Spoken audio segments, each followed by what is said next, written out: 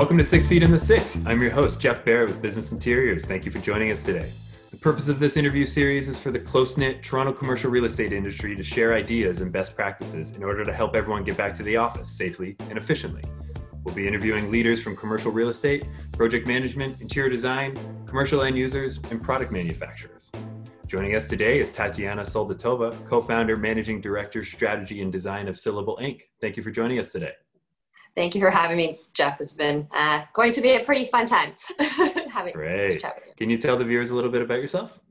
Sure. So um, I founded the company Syllable uh, six years ago with Danny Tsang. So I'm an interior designer. My business partner is an architect. So we're kind of a multidisciplinary duo uh, working together. So we have about a team of uh, 11 people right now.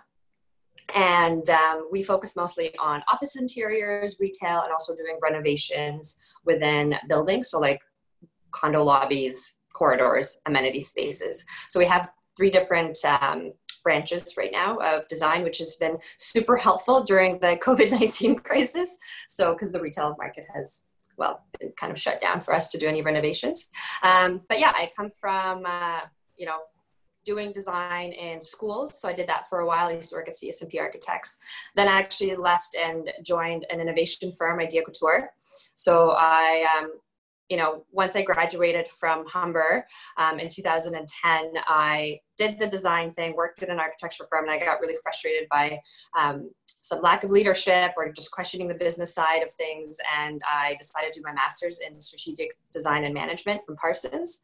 So I did that. And while I was doing it, I ended up joining an innovation firm, Idea Couture which is based in Toronto. Um, and it was a global firm, so I got exposed to a lot of like innovative uh, thinking, design thinking, and from that I started uh, Syllable with Danny. So, and our whole thing is, you know, we started the firm not just to have a firm for fun. Um, it was more so having having it be driven by the people. So I wanted to create a working environment that was super positive, you know no hierarchy um, having a space where people can feel safe and also feel you know that they're growing and they're being constantly pushed um, to continually innovate. So yeah. That's awesome. No and uh, i really uh, appreciate spending time with your team. I, I, find you guys have a lot of energy. Uh, you're really fun to be with obviously and uh, the creativity i see is, is really unique. Mm-hmm yeah it's definitely fun um, i guess being more of like a younger design firm uh, just because we don't have you know the corporate ladder we don't have so much drama. It's kind of like okay let's do this or do that. Um, and the best idea wins. That's you know idea meritocracy is what we go by. So it doesn't matter if you're a junior you know three months out of school to you've been doing this for 10 years. If one idea is better than the other that's how it goes. Personally how are you managing? Are you asking that personally as in mentally me or the business? Uh, personally, physically, mentally, how are you managing? Um, honestly, I feel when, you know, beginning of like mid March, I was like, awesome. I have less emails. Nobody's calling me. I thought this was great. I got a bit of a break. I uh, didn't have to rush around because I was always kind of go, go, go, go, go. And I thought, wow, this is great having a bit of a pause. And but I'm a very social person. I go out to events constantly downtown. I'm always, you know, usually go to work, I go home, change, and then I go out again. So that pattern at the beginning was nice having a break for two, three weeks. And then after week three, four, I yeah, I went through a, like a, a deep roller coaster dive of just not being in a good place. And I think a lot of people kind of have gone through that. If, you know, being almost like no motivation, you know, feeling depressed, not wanting to do anything. And yeah, it was hard. On weekends, I started doing brunches. So I do brunches every weekend with my friends, um, different pockets of friends here and there. And I started doing virtual brunches. So I'd send out, um, you know, an invite uh, to like a friend and say, hey, here's what we're making. So we'd do a new recipe and we'd cook it together but separate in our own kitchens. I also started working out a lot. I like I feel so fit right now. um, doing so many workouts. I think I do like three times a week right now. And those really do keep me sane because I find if I don't work out or, you know, sweat it out, uh, I, I go through a funk. So how has your work from home experience been? When we started the company, I made sure everything was available. So our Revit models are available online. We use Google Drive, we use Gmail, and um, we had quite a bit of laptops in the office as well. So working remote was easy, and any licenses, which I hate the subscription models of all like Autodesk and you know Adobe. I hate them because they charge you every month rather than just getting one software for the year. Um, I hate them, but they worked out really well because you can just log out of one computer and log in somewhere else, and it was totally fine. So yeah, it was fine. Um, we use Asana for, um, which is pretty expensive. We use it for like project management, task tracking, accountability, so you can see what everyone's doing. You're in the office now. Uh, when was? Can you remember your last in-person meeting? Uh, I don't remember my last in person meeting. I remember my last in person outing, which I went to see come from away. Okay. Uh, that was really cool. That was the last thing I, I did. And yeah, I don't remember my last meeting. I feel like it was just like crazy. um, but yeah, I mean, I'm lucky enough, you know, our office is in Liberty Village and I live in Liberty Village as well. So for me, I feel as though I'm lucky because I can walk from my house to the office and it's empty. So I do have another space. Who did you see last? Two people from IBI, which I talked about in the last episode. So I'm going to go back one more. And it was a coffee break at a design firm. And uh, it was really interesting because I probably shouldn't have been there, to be honest. It was, you know, that last week when we were still doing things. And uh, I went in and I wasn't sure how people were going to react. I didn't know, you know, people weren't taking it that seriously then. And uh, I felt rude not shaking people's hands. So I didn't purposely go out of the way to do it, but I went and started getting set up, and then people would come over and introduce themselves to me. And I felt like a jerk if I didn't shake their hand when they right. were holding it out there. Then even within that same firm, and, and they're going to know who they are because I'm sure they felt the same way with me being there, is you know, there was maybe about eight of them that joined me for this coffee break, and probably half of them shook it, you know, stuck out their hand for me to shake it, and the other half were like, no, no, no, no. So, can you tell me a little bit how your business has been affected by COVID 19? Oh boy, how has the business been affected? Uh, it's been definitely affected for sure. Uh, at the beginning, we, you know, things were seeming to be fine. And you know we had lots of projects that we're working on. And you know after slowly week by week it was you know a couple of projects pause more pauses more pauses. And eventually got to the point that out of our 48 projects that we had live uh, we were down to nine. The good thing out of the nine is those are the larger projects that we have going. So the fees are higher and it's you know can kind of maintain us a lot longer specifically in our industry you're always when you're when you're working you're always busy and there's another project down the pipeline so you're like crunch time. And when that shifts and you feel as though oh we have time to breathe it's really uncomfortable. I know how my team is feeling when there's a little bit more wiggle room.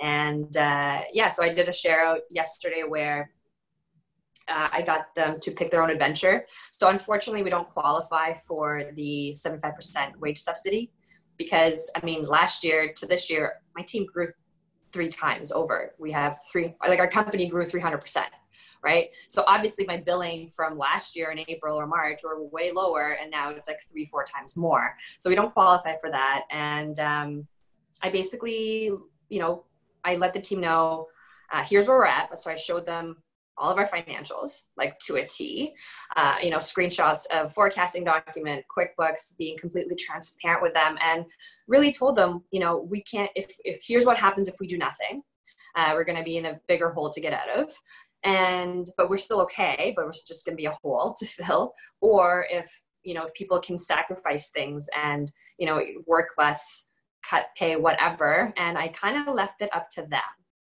so I told them, here's what you can do. Here's what's available from the government. Here's what you can choose. And yeah, people are picking their own paths. Um, you know, some people are like, hey, I'll, I'll volunteer for some time or, you know, cut my pay. So everyone has a different model that they're going with. And uh, yeah, that's what we're doing. I love that transparency that you offered your team. I mean, it, it makes so much sense, you know, get everyone on the same page. I think what a lot of companies uh, need to communicate to their team is that this is for the best interest of the company. It's not about you know losing profits. It's about having a company to come back to. And if the government can step in and help out with ei or, or whatever you know program people are able to sign up for uh, it's it's so we can come back to a great company right and uh, communication is is critical for people to understand that. What i really wanted to do was explain to them here's where we're at. Here's what we've already sacrificed. And i really do care about my team. I love my team. They're amazing. And i want to make sure that they know that they're taken care of and i'm doing everything that i can. So danny and i did take a pay cut right away at the um, when covid hit uh, and that was to cover our office expenses. So one thing that is terrible uh, I currently have two offices that are empty. So I have this office uh, at uh, one end of Liberty, and we ended up getting another one at 171 East Liberty, which is three times bigger because our team was growing. You know, I was looking for two people to hire in beginning of March. So, you know, having two spaces, and I was lucky enough to get the the larger office extended for another two months for fixturing, so we don't have to start paying rent until July. But yeah, I currently have those offices that are both empty. um, so it hasn't been fun, but uh, I don't know. I think we'll figure it out. Things will get back to normal. I mean, it, you know, you just gotta keep pushing through, and you gotta stay optimistic. The projects that are still on course, have you had any unique requests coming from your clients to address new concerns around COVID 19? I've had nothing, nothing at all. Uh, really? Yeah. And, uh, and honestly, for me, it's, it's another thing is even to pitch any solutions for that. I, I don't think uh, designing an office in a way that looks like a bunker or it looks like a hospital is going to be good for anyone's mental well-being and i think going backwards in the way that you know we have an open office space have that residential home feel i think if you start putting barricades everywhere and having that constant reminder i think that will make it a not a pleasant space to go to but uh, yeah we haven't had any requests at all have you i mean you're you're on the sales side so i'm just wondering like have you have you seen a huge outpouring on your end we have uh, a lot of requests to help get people back to the office safely. So we've had to become very educated and, and understand every idea and concept out there. And, and we spend our days making sense of those for our clients. Um, we do, we have had requests, you know, can you redesign the workstations we bought last year and, and have social distancing in, incorporated into the, into the plan? And that's where you have to tell people, you know, you don't have that much space um, nor will that you know be a long-term solution uh, if you have to go back to the office you know there, there are other measures around cleaning and, and, protocols that you can implement that that you don't have to change your furniture i remember you know the beginning of april kind of mid-april people saying hey just buy more panels buy more this buy more that and you know to me running a business i'm looking at it i'm you know barely keeping people payroll paid I'm not going to buy panels. That's crazy. Why would I buy a panel? I'd rather keep my staff on than buy a, a damn panel, right? Like that's not going to, a panel is not going to protect you. And I think it's all, all, almost as a false sense of protection. Our biggest recommendation is just have shift work. If you need to come in, have shift work. You know, I think people need to have uh, a sense of their own self and their and, and understanding what they can control. So if you know for example if you have like you know um, wipes and sanitizers that you can wipe your desk down. So you feel your own sense of control around your area. Um, and then just don't come into work if you're sick obviously. Yes we can set all these things in place. Uh, you know sanitizers 100% uh, cleaning wipes 100% spacing for now but that's you're not going to have an office like working shift for forever that's just not going to happen I think eventually people will forget. So, in each episode, we'd like to review a product. Uh, sometimes it's a new product, or sometimes it's an old product that has just become much more relevant now. And so, the product today is nanoseptic surfaces. This has been advertised to me quite a bit on my Instagram from a company that uh, in the flooring business that I, I used to work with when I was in the carpet industry. But the idea with these uh, surfaces is it's a skin that you can put onto high touch areas. So for a door handle, for example, you would wrap a nanoseptic surface around the door handle. And now anytime someone touches it, it's a self-cleaning surface. It's uh, it, it it has a the lighting in the office will oxidize the material that lands on the surface and eliminate it. Each surface lasts for three months, depending on how high the traffic is in uh, in that office or that application. The, the lettering on the skin will fade over time, and that's when you know it's time to replace it. But it's on average about three months. So the most common uses are on door handles, uh, but they do have applications for boardrooms um, so we could put these down on on all of the shared tools. So whether that's in the kitchen, on door handles in the kitchen, whether that's a boardroom, whether that's technology, whether that's the elevator buttons, um, you can put a nanoseptic skin on everything. Uh, when it comes to an assigned workstation, they actually recommend that you don't really need one if it's an assigned workstation, but for an unassigned workstation, now you could have the whole surface of that workstation be a nanoseptic skin and uh, you don't have to worry about cleaning it. it. They're very bright, as you can see in the picture, and it's it's kind of very clear that that skin is on there. So there's also kind of a, a safety feeling that a lot of people will have when these are placed in the office. So, what are your initial thoughts? So my initial thoughts of that is, I think that's initially, I think it's really cool that uh, finally those companies that have been around for quite some time now actually you know it's nothing new uh, but now they're finally brought into light because of all this. And i know that company did get some funding in i think 2014 or 2015 uh, i think they got like 2 million to further develop it which i think is great. But you know is that going to be something that's going to be mandatory or I think the other, like, I'm going to be devil's advocate here. Uh, I do think it's amazing having a product that can actually go ahead and self clean. It does take over, I think, 30 minutes for it to actually kill the bacteria that was on it um, after doing some research on it. And um, yeah, I think it's great. But at the same time, it's, you know, are we just kind of creating these things to feel safer, right? Just for our own sake? Um, rather than um, it actually working fully. I know, you know, before what why were brass handles and silver handles were so prominent before is because they were antimicrobial and they would you know kill the bacteria slowly as well and then we kind of moved away from that because trying to get you know cheaper faster more affordable I think, like anything, um, any of these products or solutions, ideas that we have right now, it has to be part of a bigger program. you know and that's that's something we get when people are calling us to buy screens for their workstations. You know having a screen is great but what are your cleaning protocols? You know what what are all of the things that go around it? And so these nanoseptic skins are are not going to replace any other function. You actually still need to clean them. You still need to wipe them down. You just can't use bleach because bleach will affect the actual product. Um, so yeah they can get dirty as well even though they are cleaning there's uh, they can you know still show dirt. So it, yeah it doesn't replace your cleaning efforts. You know you still have to have someone down there wiping it down you know you should still recommend people whether they're grabbing it with a with a kleenex close by you know like some doors have or or they wash their hands immediately. Those things still need to happen. Uh, it's just kind of meant to supplement all the other things that you're doing and enhance them. One of the other applications that was explained to me was let's say it's a boardroom table and you want to promote uh, physical distancing in in a in a small space like that is instead of wrapping the whole table is you would only wrap certain parts of the table. And that is the visual cue for people as to where they're going to sit. So now mm-hmm. you're you're kind of using it to promote good behaviors. It's it's not necessarily even what it's the original intention was but now you say okay you only sit where a nanoseptic skin is and those will be appropriately distance in the room. Now, would that ruin the surface of the boardroom table if you have like a veneer? That's a good question. Me as a furniture person, I should probably know that, and I don't. I'm going to research that.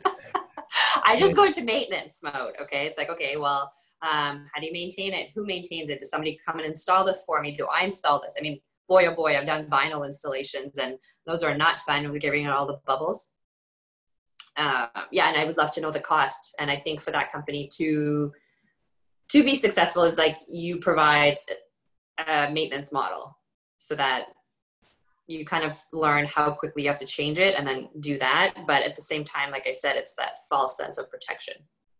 Tatiana, is there anything else you'd like the viewers to know about yourself or Syllable that you're doing to help against the fight against COVID 19?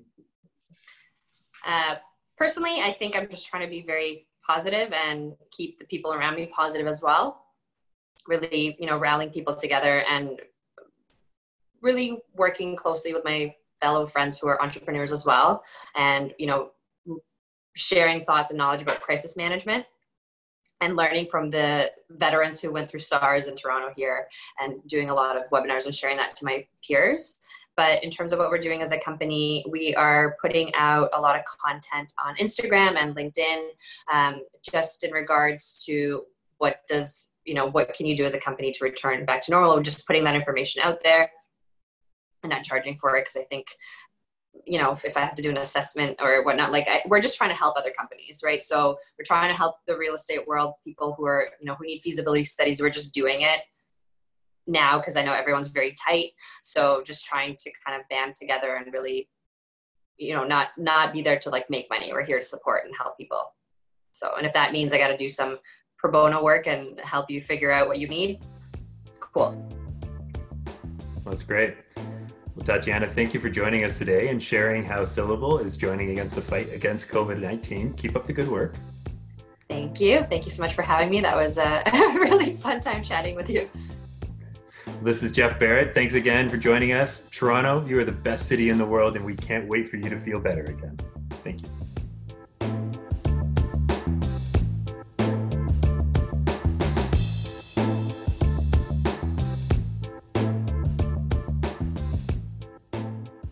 that's one thing I hope that comes out of this. Do I ever have to wear a suit for work again? Like, come on. We are all sitting in here in our track pants and doing as much work as we did in a suit. Do I have to wear a suit anymore?